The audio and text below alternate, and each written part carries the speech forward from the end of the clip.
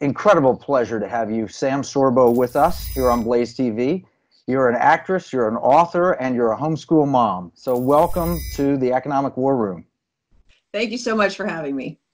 Homeschool you know, advocate, I should say. Homeschool advocate. Ah, I should have said it that way. I, I want to tell you that's important. Right now, people are finding that they're homeschooling, and it's very unexpected. The uh, whole nation is homeschooling. The Gavin whole nation. Newsom, who is no friend to homeschoolers, is advocating for homeschooling. Absolutely, and it's for uh, health and safety reasons, but there are a whole lot of other reasons to be a homeschooler, right? Yes, I'm really. I have to say, I'm I'm very encouraged and I'm hopeful that a lot of people through this experience of what I'm calling accidental homeschooling um, are, are, are now going to consider that maybe this is the best option for educating their youngsters.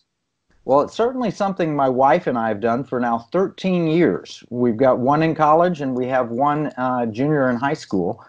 And so we're thrilled. You know, it's not changed our routine nearly as much as most other people. It's what we're used to.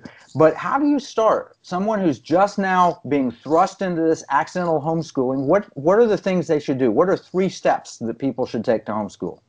So, um, and I, I, I've started a whole video uh, collection of tips and, and tricks to get you started on your way.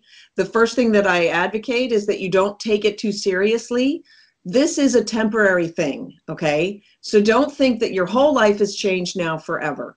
The second thing that I want parents to understand is that the school day does not have to be seven and a half or eight hours. And so, uh, depending on the age of your child, your commitment to the day should be basically less than three hours because younger kids really only need to, to work on reading, writing, arithmetic, you know, the three R's. Uh, they only really need a couple of hours a day, maybe three hours a day. Older kids need longer. They should be working longer. They have longer attention spans. But the fact is, you don't have to stand over them with a ruler waiting for them to finish what they're doing or correcting them as they go. And so for the parents, it, it isn't that big of a lift. In fact, when you think of the trade off, and, and I've often said this, that what I traded when I brought my kids home from school and started to homeschool them, I no longer had the packing the lunch in the morning, the getting them ready for school, the yelling at them, "Where's your sneaker?"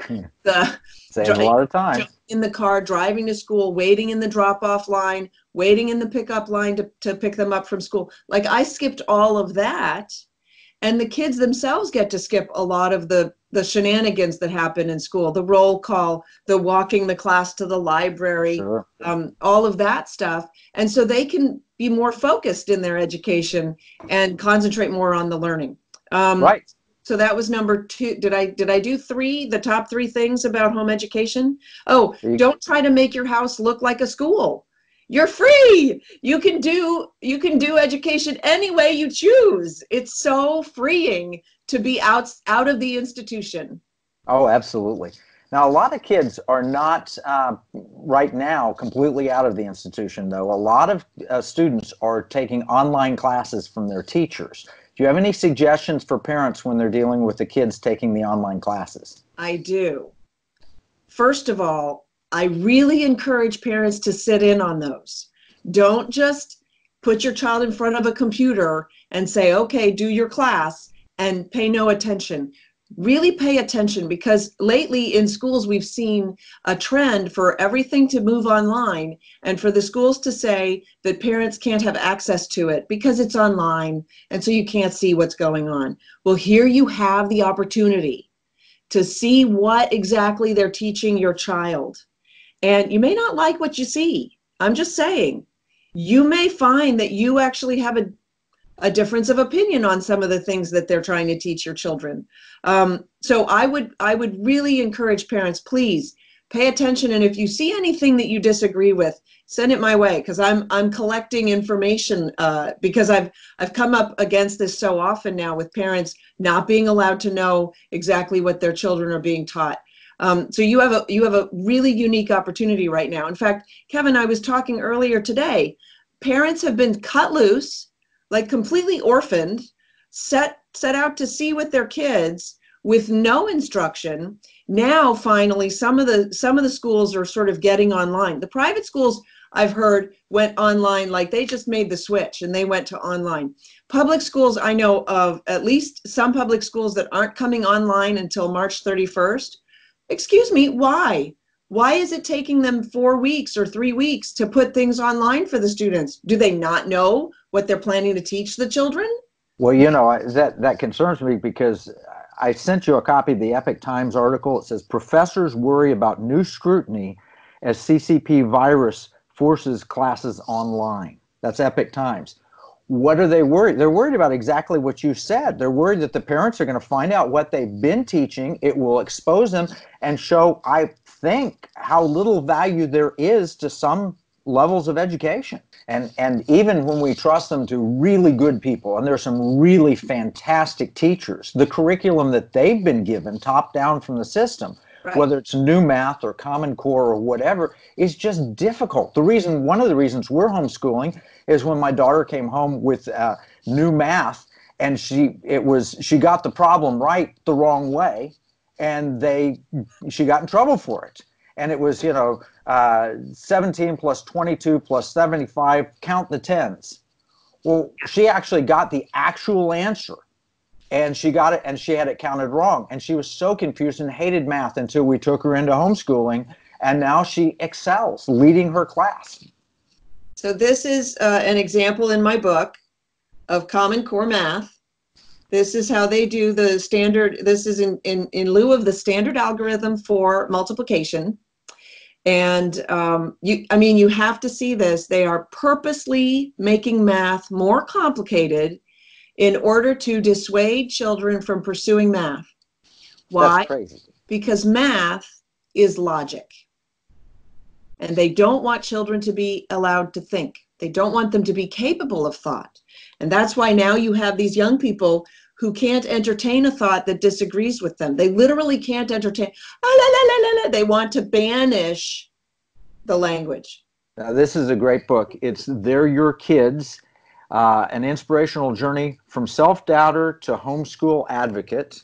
It's an excellent book. You've got some great suggestions in there. I learned things. We've been homeschooling for 13 years, and as I looked at it, my wife looked at it, we learned things. You've got another book that I picked up, Teach from Love a school year devotional for families, which I also encourage because that's one of the things that we love about um, homeschooling is the fact that we can incorporate Christian curriculum. And that's something that would be forbidden at the public schools, uh, but something that we've done um, and, and really enjoy. Let's talk about if we're homeschooling three or four hours a day uh, for the younger ones and maybe a little longer for those that are in the higher grade levels, but they're doing a lot of self study at that point where they do a lot of reading and a lot of preparation. But we have extra time. What are some fun things you can do with the extra time that you have? Oh my gosh. Well, f- well, first of all, so yeah, you're talking about the amount of time that the children are working on their studies uh, versus, and I just want to be clear, the parents aren't working on those. So I talked, I talk about this in one of my videos I had three young children, so first, third, and fifth grade, and we'd sit down at the kitchen table and I'd bring my computer and I'd help them a little bit and I'd do some emails and then I'd help that one a little bit and then I'd do some emails. So you can get stuff done. You don't have to be entirely focused on your young children. And then, of course, the older children are self, uh, you know, they might not be self starters because they've been spoon fed all this time in the public schools, but you can engage them to become more self-starters and you say here's a book I, I recommend going through some classic literature if you're if your uh, school hasn't given you assignments yet. Um, i recommend going online and looking at some documentaries. That's fun to do. In fact uh, my husband has a documentary called before the wrath which is um, a it's it's a non-religious look at the last book of the bible and it's trending number one on Amazon in documentaries. But the amazing thing is, it's trending number nine on Amazon in overall films, which is amazing. But that is amazing. We're living in the in the era of COVID nineteen, and everybody's going, "Oh, pestilence" or whatever, right? Um, so you can do that. You can. Um, I I like to, to recommend cooking together because you're in the house. Cooking with young kids involves math, measuring, um, kids love to cook because they love getting fun. their hands dirty and it's fun. and you can actually sit down with your kids and like design a menu and um, you can search up all kinds of recipes online so that's fun. And of course all the outdoor exercise if, if you have the the ability to go out of the house with the family take long walks. I'm really encouraging parents to not look at this as a as a loss or a limitation but as um, as an opportunity. This is yep. an opportunity for you to get to know your kids even better to forge a, a stronger a more meaningful relationship with your teenagers engage them in conversation make lunch dates with your kids. Say today i'm going to have lunch with you and we're at 12.30 we're going to sit down for lunch. What do you want for lunch? Um, you know i'll make it or or whatever. And then engage them and find out what they're interested in. I was talking with a gal today. Um, she said that her son she's gearing him up to go to college but he's got a learning deficiency. And so we were talking about that and i said well what makes you think that he should go to college you know, parents, we need to take a step back because our education system has really um, manipulated us. Uh, when when when we talk about education, K through 12 is engaged in college prep and career readiness, correct? Yeah. So let's examine that for a minute. Career readiness. Well, that means that you're going to have a career. How many kids graduate college with a career? Not a whole lot. Right. What's college prep? College prep is gearing you up to go spend a bunch of money in college, to buy an education at school, right? At college. But here's the thing maybe that's not what you're, maybe that's not all it's cracked up to be. And in fact, it isn't anymore. And it's sort of like, um, I need a I need a new form of transportation. I want a car, so I go to a dealership and I say, "Here's eighty thousand dollars and I need a new form of, of transportation, basically a career. I'm not sure what the career is going to be, but that's what I need. And then I end up with a bicycle. Yeah. And you go, but I thought that I was getting a car. Yeah, but you didn't specify. Eighty thousand dollars for a bicycle. Yeah, so that's you know you're right. College is going to transform. It's going to change. All these students coming home, people are going to wonder, is this valuable? And when they find out what they're they're paying good money for their children to be indoctrinated, a lot of parents will say, I'm done with that. I'm done with that. And we're in a new economy. So I think you make a lot of good points. One of the things, Sam, I want to I want to share uh, with our audience, and I think it's important, is we need to have hope. I mean, you talk about taking dates with your kids. You know, one of the things that it, when your pantry is emptier than maybe it would be because you can't shop as readily or easily, uh, you get creative in your cooking. And so uh, c- coming up with new concoctions and so forth. But it's also a time with the Teach from Love so you can get closer to your kids. And then you and Hercules have, uh, have written another book, True Faith which is about how couples can draw closer. This should be a time the the the enemy of our faith would take this as a time to destroy families, and you know you're cooped up together and so forth. But it doesn't have to be so. We can actually, using the resources you provided, plus the Bible, plus all of the great things. Um, so I want to encourage and give you a, give you a last word to share. But I want to encourage people. There's true faith I want to encourage people don't just let your kids sit down and look at videos. Watch a movie together. Yes. Put it on the TV, watch it together. Don't have them off you doing just YouTube or searching the internet. Do family activities. And watch the classics. We just watched uh, Mr. Smith Goes to Washington, and I discovered that I had not seen it before, and it's brilliant and it's funny. And my kids, who are all now young teens, loved it um, because it's so entertaining and it is not partisan at all. There's no partisan politics in the movie. It's just a fantastic movie. So look at some of the old classics, the things that you wouldn't otherwise do. Clean out the closet that you've been putting off and you don't want to do, but engage your kids in doing that, right? This is a time for families to draw together. I honestly, I think this is a tremendous opportunity to get back to families. And, um, and so I'm very optimistic.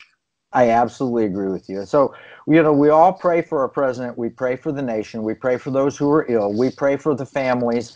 Uh, there are a lot of things that we need uh, to, to take out of this.